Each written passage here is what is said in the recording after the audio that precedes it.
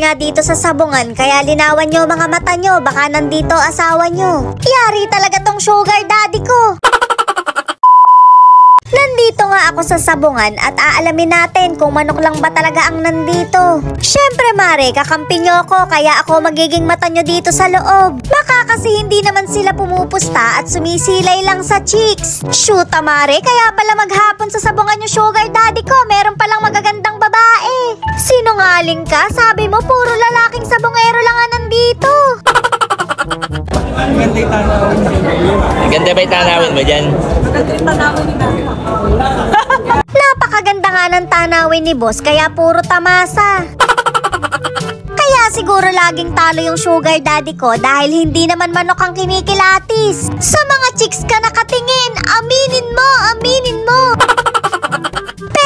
syempre, hindi naman lahat ng sabongero pare-pareho. Meron ding manok talaga ang pinunta katulad ni kuya. Hindi man lang lumilingon at bising-busy sa pagbibilang ng tamasa. Ganon sana. Napakagaling ni kuya na iangat niya yung imahe ng mga sabongero. Panalo nga si boss kaya pinatawag na kami ng asawa niya. Ngayon nga mare, ipapakita ko naman sa inyo kung ano ginagawa ng mga sugar baby kapag nananalo yung sugar daddy nila sa sabong. Kapag panalo, party party. Pero kapag natalo, bubungangaan. Ano mga mare, guilty kayo no?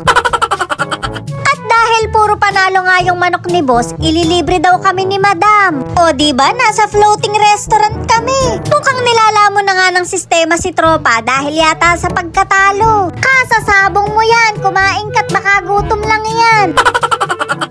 Ako na nga ang nagsimulang kumain dahil matakaw ako. Dahil mainit ang ulo ko sa sugar daddy ko, magi stress eating ako. Kaso mare, bawal palang mag-sharon dito. Kami para may laman yung tiyan namin mamaya kapag uminom kami. Tamasa ang sugar daddy ni madam kaya tamasa din kami sa pagkain. Umulit nga ako at naabutan na ako ng second batch na kakain. Napakaganda ng ngiti ni kuya mukhang panalo. Samantalang yung katabi ko tulala dahil talo. Naisip ko lang mga pare, bakit nga ba ganon kapag nananalo kayo kahit hindi masarap yung pagkain, nasasarapan kayo. Pero kapag natatalo, kahit masarap yung pagkain, hindi kayo nasasarapan. Ang hirap palang maging sabongero, nakadepende sa pagkapanalo yung panlasa. Umandar na nga yung bangka namin at nagpaalam na kami sa mga sabongero. Galingan nyo dahil uubusin namin yung panalo nyo. Safe na safe na kami, magkahulihan man dyan. Eto nga mare at nagre-relax muna ako bago manakal ng sugar daddy. Alam ko na ngayon kung bakit araw-araw ka sa sabungan. Kahit wala kang pamusta, hindi ka uma-absent, shoota ka. Sa taas nila madam at dito kami nag-party-party. O alam nyo na mga pare kung ano ginagawa namin kapag nananalo kayo. Kung lagi ba namang panalo, de walang nagbubunga nga sa inyo. Para hindi kayo natatalo, yung manok kasi ang kilatisin yung mabuti. Alalahanin nyo na yung mga manok ang may tare.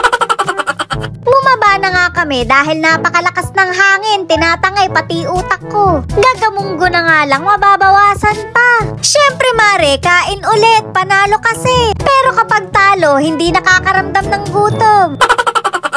Dumating na nga yung iinumin namin at magwawalwal kami. Paano naman kaya kami malalasing dito? Flavored drink. Enjoy nga kami kahit alam naming pangalawa lang kami sa buhay ng mga sugar daddy namin. Syempre mare, ang number one yung mga manok. Hindi ko lang sure kung merong pang pangatlo, pang apat, pang lima. Hindi naman kasi namin sila nababantayan.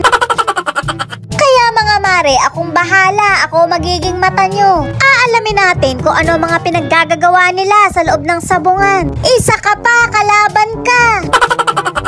Nagsisimula na nga kaming magmarites at pinag-uusapan namin yung mga sugar daddy namin nang hindi nila alam. Kapag magkakasama kami, sinisiraan namin kayo. Kaya mag-ingat-ingat kayo dahil mahuhuli din namin kayo. Pagka sabungero, sabungero na lang, wag ng babaero.